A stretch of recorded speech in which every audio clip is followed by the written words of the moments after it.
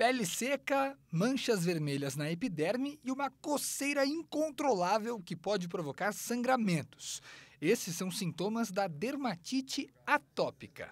A dermatite atópica é uma doença genética, crônica, desenvolvida por pessoas que têm predisposição alérgica a ter um ressecamento na pele. Esse ressecamento é causado através de um processo inflamatório, onde o resultado final desse ressecamento é levar uma coceira na pele, só que numa dimensão muito grande na maioria das vezes. Esse tipo de dermatite é pouco conhecido no Brasil e não afeta apenas o aspecto físico, o corpo do paciente, mas também o aspecto psicológico, a interação dele com outras pessoas. E dessa forma, pode provocar uma baixa autoestima. É o caso do Pedro, que possui a doença e sofre as consequências sociais dela, como o afastamento de parte das pessoas por medo e desconhecimento da dermatite e também a queda no desempenho escolar.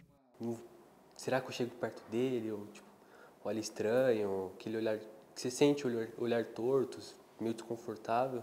Já, já não estava naquela fase, tipo, já não estava indo muito bem na, na parte acadêmica. Veio isso, só afundou tudo. Aí foi aquela coisa de não querer ir mais para a escola, porque, como eu te falei, meio, as pessoas podem olhar estranho.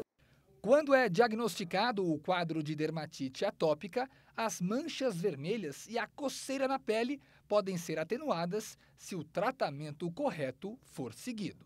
O banho deve ser um banho rápido, morno para frio, sabonetes líquidos só nas regiões onde você precisa fazer uma asepsia adequada, hidratar da forma adequada, passar a medicação conforme a orientação médica, o paciente vestir a camisa do tratamento, a gente costuma ter uma um, observa uma melhora significativa do quadro. Renan Nievola para a Rede Vida de Televisão.